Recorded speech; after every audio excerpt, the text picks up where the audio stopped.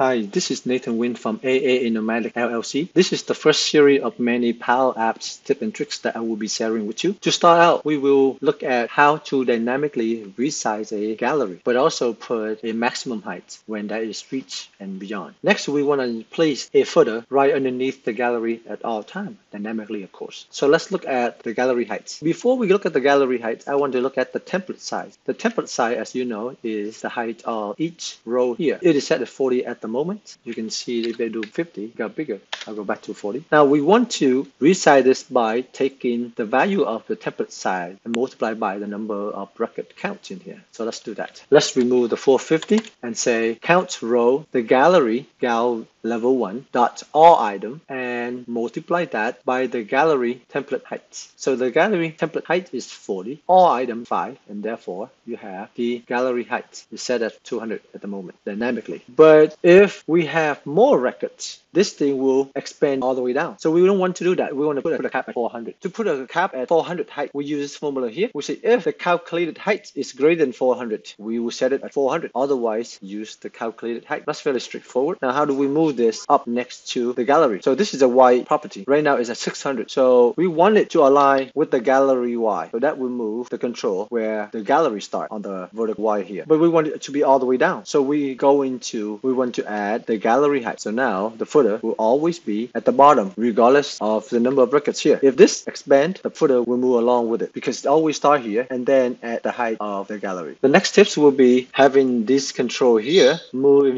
unison and be relative of one another. And I want to start with the magnified magnify Right? If I move up and move right, everything will just stay. The first approach would be right click and then we're going to group the control together. And this way we can move up and down, left and right together. However, they are not relative because if I change this to 300, uh, things don't get pushed out. For this demo purpose, I will ungroup and take this control here. This is the search icon. I get the control name. I'm going to select the remainder control and go to the Y. They all set at 231 at the moment. So I'm going to go to the search icon control Y property. And now if I move up, everything else will tag along. If I move right, it has not yet to move with it. I'm going to select this text control and then go to the X and I'm going to paste in the search icon X. Now it will overlaps right? Because we, we want it to move to the end. That's why we add the search icon dot with now it will be next to one another. For the clear control, the, the, the, clear control, I want the clear control to be at the end of the text box. So if I put 300 here, it doesn't move along with it. So let's take this control, go to the X, the search text X, you can see here, it goes to the beginning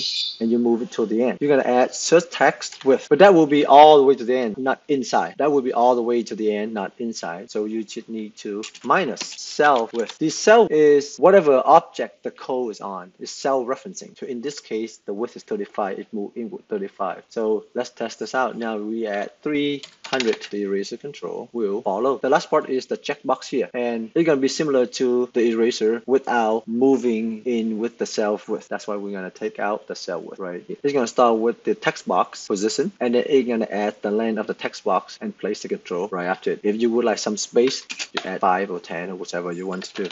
I like to be like that. Now if we move up, down, left, right, everything else move in unison, including resizing the control. Everything move along with it. There you have it. Hope you enjoy. Please like and subscribe my channel. That will encourage me to keep making videos and share with you. Thank you very much. Bye bye.